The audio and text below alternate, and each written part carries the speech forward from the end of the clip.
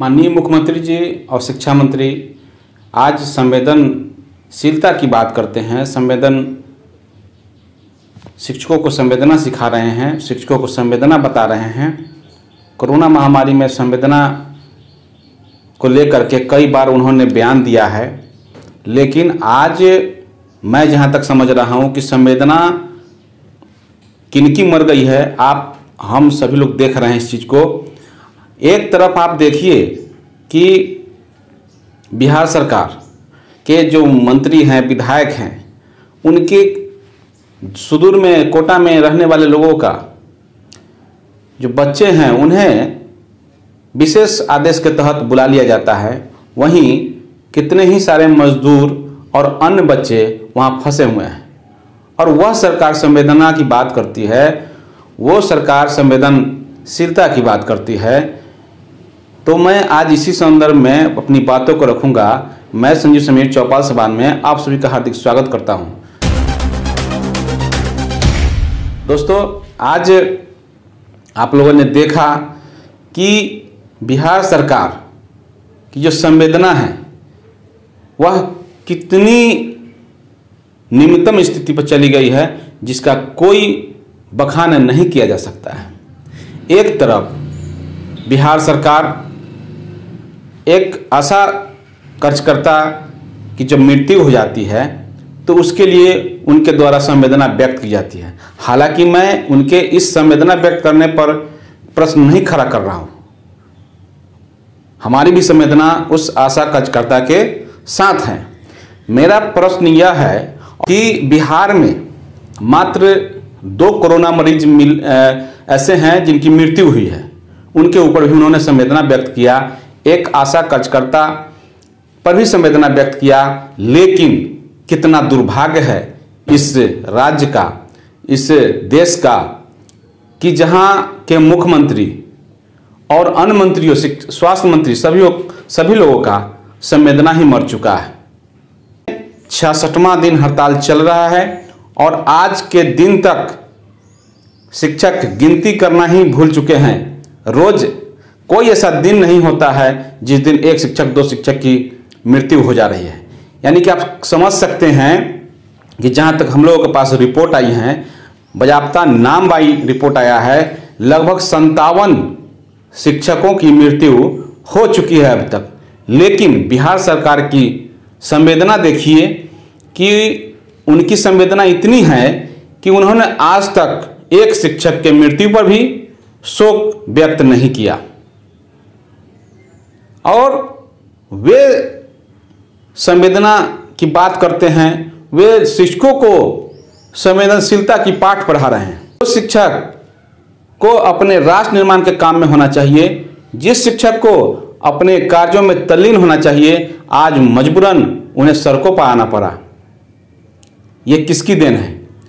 आज हड़ताल का ऐसा नहीं है कि पहला दिन है। हड़ताल ये विगत एक साल से चल रहा है।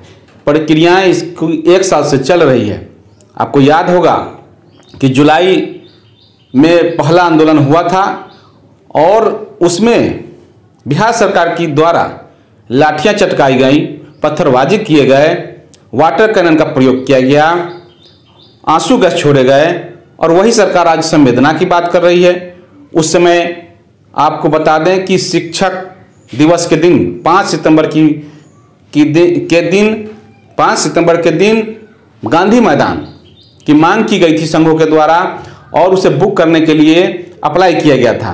लेकिन सरकार के द्वारा वह बुकिंग नहीं किया गया उसे खारिज कर दिया गया ताकि शिक्षक इकट्ठा न हो सके। दूसरी ओर, जब शिक्षक संगठनों ने अपना कार्यक्रम कहीं और रखा, उसे भी सील कर दिया गया। और वह सरकार आज संवेदना की बात कर रही है तो मुझे हास्यास्पद लगता है कि शिक्षा मंत्री जी और मुख्यमंत्री जी आप लोग यह बताइए कि आप कौन सा संवेदना का पालन कर रहे हैं? शिक्षकों को आंदोलन करने से रोक रहे हैं? शिक्षकों के जो मूल मांग हैं उनको नहीं सुन रहे हैं? तो आप किस संवेदना की बात कर रहे हैं? ये हम लोगों के समझ से परे है। साथियों मैं आम जनता से भी अपील करना चाहता हूँ। क्या शिक्षकों की कोई कदर नहीं है? शिक्षकों के, के पास क्या पेट नहीं है? आप प्रधानमंत्री को देखिए, प्रधानमंत्री ने पूरे देश में जो भी इस महामारी से, कोरोना महामारी से पीड़ित हैं, उन्हें पैसा देने के लिए सरकारों को पैसा रिलीज़ किया है और कोई भी भूख से न मरे, इसके लिए प्रावधान किया गया है। लेकिन शिक्षकों को क्या मिला? शिक्षक हड़ताल पर थे, पहले से ही हड़ताल पर थे, न उनसे वार्ता की जा रही है। न उनकी कोई सुनवाई की जा रही है। आप इससे स्वयं समझ सकते हैं, जब एक कोई मुख्यमंत्री के पिता जिद्दत करते हैं, उनके लिए संवेदना उनकी प्रकट हो जाती है। लेकिन शिक्षक के लिए कोई संवेदना नहीं है। क्वारंटाइन सेंटर पर शिक्षक की मृत्यु करंट लगने से हो जाती है। आपने संवेदना तक व्यक्त नहीं किया। तो इससे क्या कहा जाए? क्या यह आपकी संवेदनशीलता इसको कहा जाएगा या संवेदनहीनता कहा जाएगा, आप स्वयं निर्धारण कीजिए।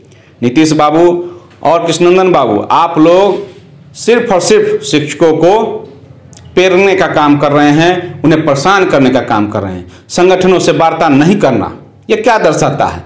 एक तरफ़ आप लोग मछली का भोज का आयोजन करते हैं, दूसरे तरफ़ दूसरे तरफ़ आप शिक्षकों से लॉकडाउन की बात कह करके आप उनसे वार्ता नहीं करना चाहते हैं, वार्ता करने के और भी तरीके हो सकते हैं।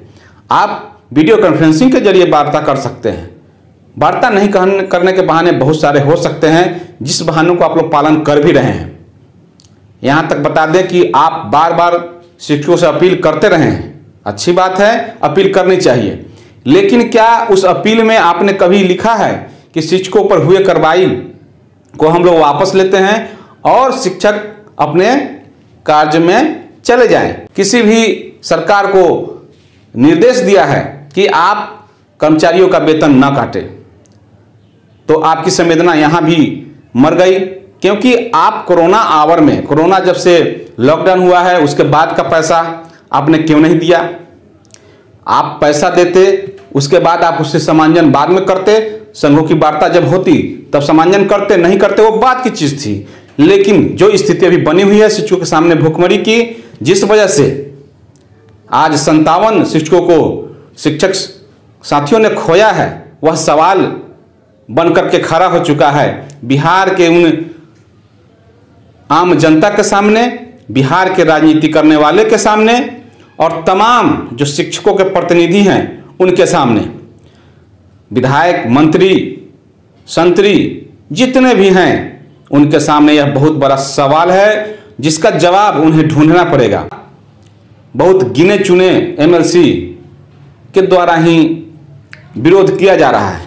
लेकिन अधिकतर लोग की चुप्पी कहीं ना कहीं हम सभी को बोलने पर मजबूर कर रही है। और शिक्षक जब तक मौन हैं, तभी तक आपकी सत्ता बनी हुई है। इस बात को भी आपको समझने की ज़रूरत है। मेरा निवेदन है कि आप लोग आपकी सरकार इस शिक्षकों को अपमानित और ज़्यादा न करें, नहीं तो इसके परिणाम दुर्गामी हो सकते हैं।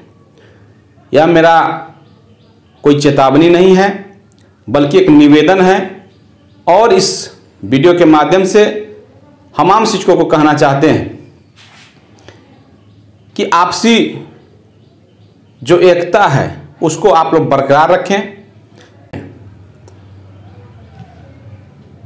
आज न सिर्फ़ शिक्षक समाज रो रहा है, बल्कि आम जनता भी आपके कुकृत्यों से परेशान हैं। हमने देखा है कि बहुत सारे शिक्षक सब्ज़ी की दुकान लगा रहे हैं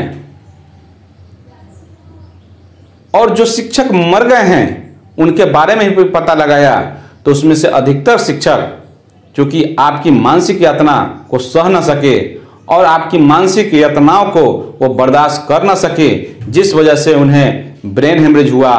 उसके बाद बहुत सारे शिक्षकों को हार्ट अटैक हुआ। साथ ही साथ जो परिवार की लालन पोषण की जो समस्या उनके पास थी, कहीं ना कहीं उसकी जो ज़िम्मेदारी थी, उस वजह से हार्ट अटैक हुआ, ब्रेन हेमरेज हुआ। तो इसके जिम्मेदार कौन हैं?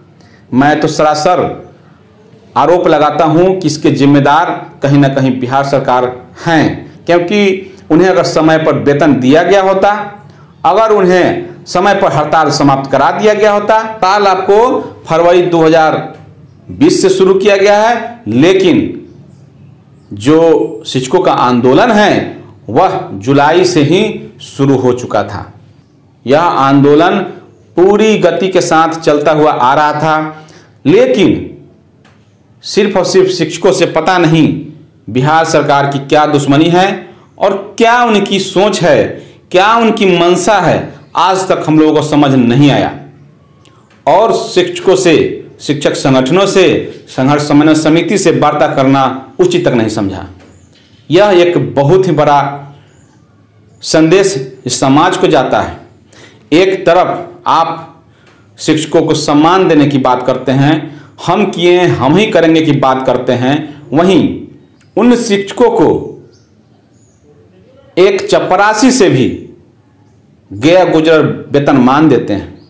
आप क्या समझते हैं? चपरासी से ज़्यादा वेतन देते हैं शिक्षकों को? नहीं, बिल्कुल नहीं। जब तक चपरासी का भी वेतन उस नियोजित शिक्षक से ज़्यादा है तो आप कौन सा सम्मान दे रहे हैं, ये मुझे समझ आज तक नहीं आया।